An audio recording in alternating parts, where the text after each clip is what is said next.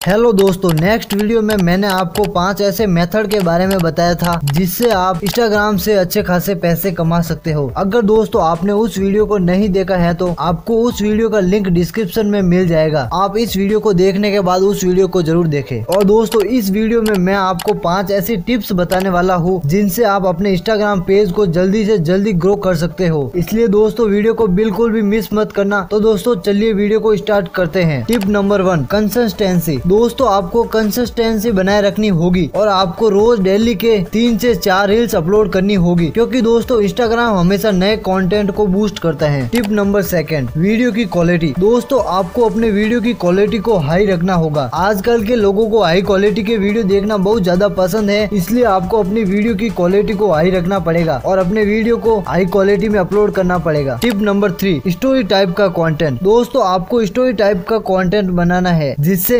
Engagement बढ़ेगा और ज़्यादा से ज़्यादा व्यू आएगी। Tip number four share save like comment आपको ऐसी रील्स बनानी है जिससे लोग ज़्यादा से ज़्यादा शेयर करे कमेंट करे लाइक करे और सेव करे। इससे आपके पेज की रीच बढ़ेगी और जल्दी से जल्दी पेज ग्रो होगा। टिप नंबर फाइव टैक्स दोस्तों, आपको हमेशा ट्रेंडिंग टैक्स को लगाना है। मैं आज आपको पाँच ऐसे टैक्स बताऊँगा जो अभी ट्रेंडिंग में चल रहे हैं।